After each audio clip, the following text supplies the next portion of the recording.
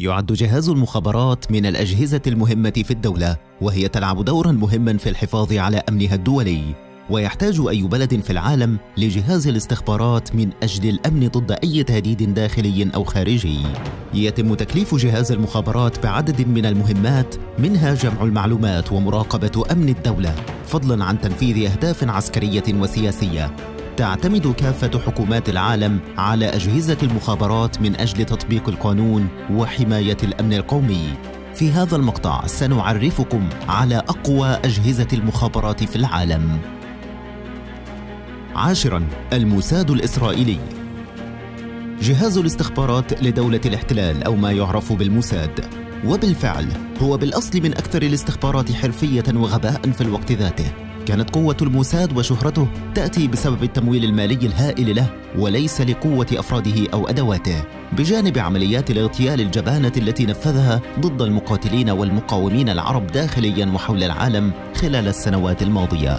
والمهمة الأساسية له هي جمع المعلومات الاستخباراتية عن طريق نشر العملاء حول العالم والقيام بالعمليات السرية والعمليات شبه العسكرية.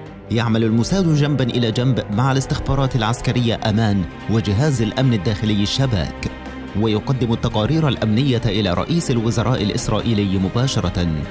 قائمة طويلة من العمليات السرية المفرج عنها قام بها الموساد منها مثلا اختطاف الزعيم النازي أدولف إيخمان من داخل الأرجنتين عام 1960 وتهريبه إلى إسرائيل وإعدامه هناك. واغتيال عدد من نشطاء جبهة التحرير الفلسطينية. تاسعا المخابرات الأسترالية السرية. جهاز المخابرات الأسترالي ASIS وهو المكون الخارجي لمجتمع الاستخبارات الأسترالي وهي مكلفة بجمع المعلومات الاستخباراتية من الخارج والتي تتعلق بالأمن الداخلي الأسترالي والمصالح الاستراتيجية. تم إنشاء هذا الجهاز بأمر تنفيذي ومع ذلك أصبح وجودها معروفا علنا لأول مرة بعد حوالي عقدين من الزمان. في عام 1972 بعد أن كشف تقرير إخباري عن أنشطتها التجسسية في الدول الآسيوية المجاورة تظل معظم عملياتها في السنوات الأخيرة سرية. ثامناً المديرية العامة للأمن الداخلي الفرنسي. شهدت المديرية العامة للأمن الداخلي وهي وكالة الاستخبارات الفرنسية هيكلة حديثة تمت عام 2008 بما وضعها تحت قيادة وإشراف تام من قبل وزارة الداخلية. حيث تتولى وكالة الاستخبارات هذه مهمة مكافحة التجسس والعمليات الإرهابية ومكافحة الجرائم الإلكترونية المحتملة. إضافة إلى تنفيذ عمليات التجسس الخارجية ورصد التهديدات المحتملة على البلاد. تشمل وكالة الاستخبارات الفرنسية الكثير من الدوائر. أبرزها مديرية مكافحة الإرهاب والاستخبارات الفنية ومديرية الدعم ومديرية الشؤون المالية ومديرية الحماية الاقتصادية والإدارة العامة ومديرية الشؤون الداخلية ومديرية الشؤون الدولية. وترفع تلك الجهات تقاريرها بشكل مباشر لوزارة الداخلية. سابعا وزارة أمن الدولة الصينية.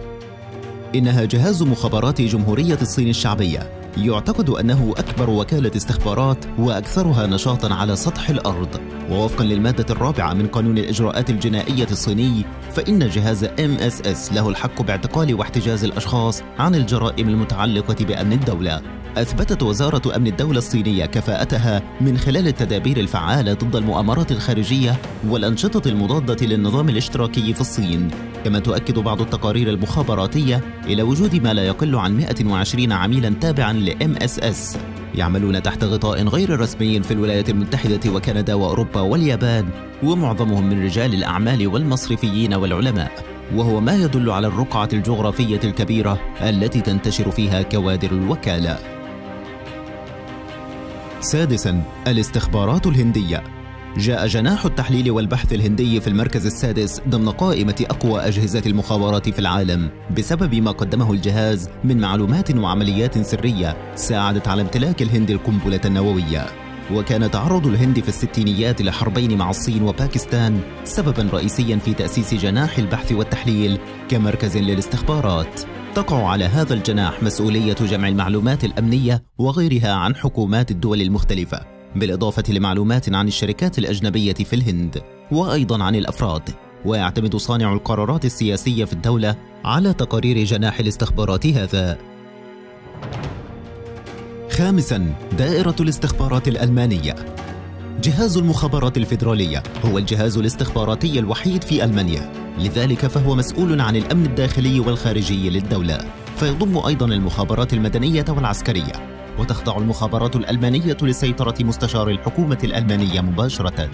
تستخدم المخابرات الألمانية وسائل فريدة ومنوعة في الحصول على المعلومات الأمنية مثل المراقبة الإلكترونية والتنصت على الاتصالات الدولية وتقوم بجمع وتحليل المعلومات الأمنية في شتى المجالات مثل الإرهاب الدولي وانتشار أسلحة الدمار الشامل والنقل غير القانوني للتكنولوجيا والجريمة المنظمة وتجارة المخدرات وغسيل الأموال والهجرة غير الشرعية وحرب المعلومات. رابعا جهاز الأمن الاتحادي الروسي. يأتي جهاز الأمن الاتحادي الروسي وهو الوريث الشرعي للمخابرات السوفيتية كي جي بي الذي انهار مع انهيار الاتحاد السوفيتي حيث كان يعد رقم اثنين في قائمة أقوى أجهزة المخابرات في العالم. إلا أنه الآن جاء في المركز الرابع. وعلى الرغم من ذلك يتميز جهاز الأمن الاتحادي الروسي بقوة تدريب جواسيسه وأيضا مئات الخلايا النائمة خاصة في أمريكا العدو التقليدي لروسيا. وتعتبر المخابرات الفيدرالية في روسيا من أكبر وأنجح المخابرات داخل روسيا وحول العالم. وتعمل العديد من وكالات الأمن الروسية وحتى بعض الوزارات الأمنية تحت إرشاده وسيطرته مثل وزارة الشؤون الداخلية في روسيا. تقوم المخابرات الفيدرالية الروسية على أنقاض الشرطة السياسية أيام الاتحاد السوفيتي كي جي بي. ومهمتها الأساسية كحال كل أجهزة المخابرات هي حماية الدولة الروسية أمنيا من الداخل والخارج. فتجمع المعلومات لمواجهة تجارة الأسلحة والمخدرات ومحاربة الإرهاب والجرائم والتجسس على الدول لخدمة مصالح روسيا. ثالثا المخابرات البريطانية MI6 تمتلك بريطانيا واحدة من أقوى أجهزة المخابرات في العالم ويعتبر قانون الأسرار الرسمي البريطاني أحد المزايا التي جعلت MI6 من أنشط الأجهزة حيث يبعد المواطنين عن فكرة السؤال عن أي من عمليات هذا الجهاز أو محاسبته أو غير ذلك من التدخل في شؤونه. من العمليات الشهيرة التي قامت بها الاستخبارات البريطانية هي تجنيد أوليغ جوردفيسكي وأوليغ بينغوفسكي لمساعدتهما في اتخاذ القرارات المواتية لأزمة الصواريخ الكوبية أعقاب الحرب الباردة. وأيضا العملية الشهيرة التي استهدفت تخريب برنامج الطائرات الأسرع من الصوت توبوليف 144 التابع للاتحاد السوفيتي عن طريق تغيير الوثائق الرسمية وإرسالها للشرطة السياسية كي جي بي. ثانيا وكالة الاستخبارات الأمريكية CIA كانت ولا تزال الاستخبارات الأمريكية حاضرة حيث تتواجد في المركز الثاني. وعلى الرغم من قوة الجيش الأمريكي فإن المخابرات الأمريكية بدلا من المركز الأول وذلك بسبب الأخطاء والكوارث التي تسببت فيها المخابرات الأمريكية في الفترة الماضية. على الرغم من الإمكانيات الهائلة المتوافرة للسي آي والتكنولوجيا العالية. فإن جهاز الاستخبارات الأمريكي حالياً أصبح يعتمد بشكل كبير على التعاون مع الاستخبارات الخاصة بالدول الأخرى وهو مسؤول عن جمع المعلومات عن الحكومات الأجنبية والشركات والأفراد وتقديم التقارير للإدارة الأمريكية لمساعدة كبار صناع القرار السياسي في أمريكا. يقوم الجهاز أيضا ببعض المهمات السرية بتكليف مباشر من رئيس الولايات المتحدة بالإضافة إلى بعض العمليات شبه العسكرية. ويمتلك الجهاز وفق المعلن ما يقرب من ألف عميل مزدوج حول العالم. ويحتل المركز الأول كأكثر أجهزة الاستخبارات تمويلا في العالم. لذلك فهو الجهاز الأكثر تطورا تكنولوجيا من بين أجهزة الاستخبارات الأخرى. وفي المرتبة الأولى تأتي الاستخبارات الباكستانية ISI لعل المفاجأة أن دولة باكستان تتربع على قمة الدول ذات القوة الفعلية في الاستخبارات حيث جاءت مديرية الاستخبارات الداخلية الباكستانية ISI على رأس قائمة أقوى أجهزة المخابرات في العالم. بسبب ما قامت به المخابرات الباكستانية وفروعها السرية أثناء الحرب مع الهند. ثم حصول باكستان على القنبلة النووية. وفي التاريخ المعاصر اعتمدت الدول الغربية بشكل كبير على المخابرات الباكستانية في التجسس على تنظيم طالبان وتنظيم القاعدة وعدد كبير من الشبكات الإرهابية في قلب أوروبا. وقد حققت باكستان العديد من الإنجازات العسكرية عبر تاريخها منذ إنشاء جهاز الاستخبارات حيث استطاع الجهاز منذ إنشائه أن يحمي الأسلحة النووية. وأحبط التفوق الهندي في هذا المجال من خلال زعزعة الأمن الداخلي الهندي. ومن المثير للدهشة أن المخابرات الباكستانية من أقل المخابرات تمويلاً على مستوى أجهزة المخابرات في العالم.